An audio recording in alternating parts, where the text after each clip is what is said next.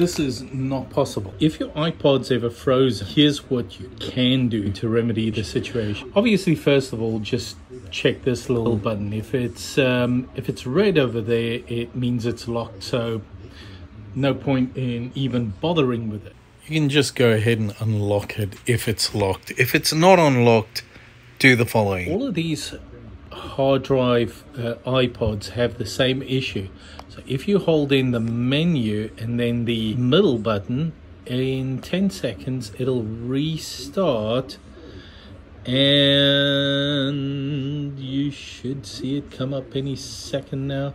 There it is. And look at that.